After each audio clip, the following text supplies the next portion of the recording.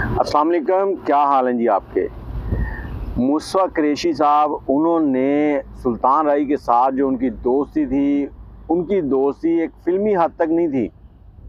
ایک عام روٹین میں بھی وہ ایک دوسرے کے ساتھ اٹھک بیٹھک رہا کرتی تھی۔ تو انہوں نے اس دوستی کا حق ادا کر دیا دو دن پہلے۔ اب یہ سارا ماجرہ کیا ہے؟ یہ ساری بات چیت جو ہے نا، یہ جڑی ہوئی ہے آفتاب اقبال صاحب سے۔ تو یہ ساری کہانی آپ کے ساتھ شیئر کرتے ہیں، اس سے پہلے آپ ہمارے چینل کو سبسکرائب کر لیں بیل کا آئیکن دبا لیں تاکہ ہماری ویڈیوز آپ کو ملتی رہے کچھ سال پہلے، دو تین سال پہلے آفتاب اقبال نے ایک شو کے اندر کہا تھا کہ سلطان رائی صاحب جو ہیں، وہ شان کے سامنے کیا چیز بیچتے ہیں؟ مطلب شان جو ہے، وہ بڑا اداکار ہے، سلطان رائی صاحب جو تھے، وہ تو کچھ بھی نہیں تھے، ان کو تو آتا ہی کچھ نہیں تھا۔ وہ تو بس ایسے ہی مشہور ہو گئے تھے۔ تو کل مصفہ قریشی صاحب سے ایک انٹرویو میں صحافی نے پوچھا کہ آپ اس بات کے اوپر کیا کہتے ہیں؟ تو مصفہ قریشی صاحب نے ناپ تول کے ساتھ الفاظ بولے ہیں۔ انہوں نے بتایا کہ آفتاب اقبال جو ہے نا، میں آپ کو ویڈیو سنوا دیتا ہوں۔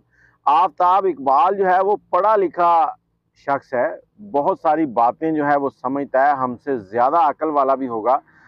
لیکن اس کو یہ زیب نہیں دیتا تھا کہ یہ بات کرے۔ سلطان رائی صاحب جو تھے، ان کے اوپر اللہ کی رحمت تھی، اللہ کی طرف سے کرم تھا۔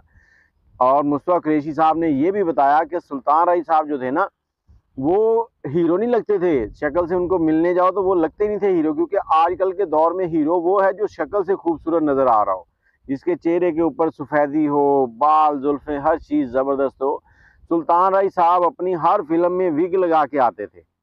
اور اکثر اگر آپ ان سے بات کریں تو وہ پان کھاتے تھے ان کے دانت بھی لال اور کالے نظر آتے تھے۔ اور شوٹنگ کے دوران اتنا سادہ آدمی تھا کہ وگ جو ہے وہ الٹی لگا کے سٹیج پہ کھڑا ہو جاتا تھا۔ صاحب پڑھے لکھے آدمی ہیں ایسے لفظ ان کو بولنے نہیں چاہیے تھے سلطان رائی کے لیے۔ سلطان رائی تو بہت بڑا ایکٹر تھا۔ وہ ڈائریکٹر کو سیدھی کروانی پڑتی تھی رائی صاحب وگ سیدھی کر لو۔ اور آفتاب اقبال نے جب یہ بات کی تھی اس کے بعد لوگوں کی طرف سے جب اس پہ ریاکشن آیا، حیدر سلطان کی طرف سے بھی، دوسرے اداکاروں کی طرف سے بھی۔ تو پھر آفتاب اقبال نے معذرت تو کر لی تھی، لیکن معذرت کرنے سے پہلے ہی اگر ناپ تول کر بولا جائے تو وہ ٹھیک نہیں ہوتا۔ سلطان رائی صاحب جو ہیں، ان کے ساتھ جس ہیروئن نے کام کیا، جس دہائی میں مطلب سلطان رائی صاحب جب سے فلم انڈسٹری میں آئے تھے، انہوں نے جس لڑکی کے ساتھ بھی ٹائٹل رول کیا، وہ لڑکی اس دہائی کی ٹاپ ہیروئن میں آ جاتی تھی۔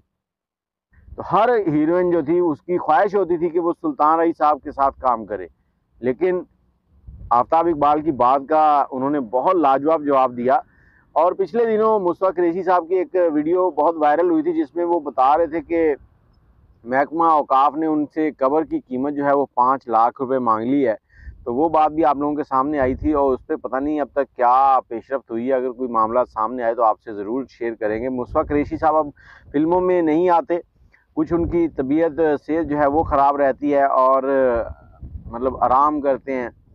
اللہ پاک ان کو اچھی صحت والی زندگی عطا فرمائے۔ لیکن یہ کہہ لیں کہ انہوں نے آفتاب اقبال کو جواب دے کر نا دل خوش کر دیا۔ پڑھے لکھے انداز میں جیسے آفتاب اقبال باتیں کرتا ہے نا، وہی انداز اور وہی ٹھکائی کر دی انہوں نے۔ آپ اس بارے میں کیا کہتے ہیں؟ اپنی رائے جو ہے وہ کمنٹ میں ضرور دیجیے گا۔ دعاؤں میں یاد رکھیے گا۔ اللہ حافظ۔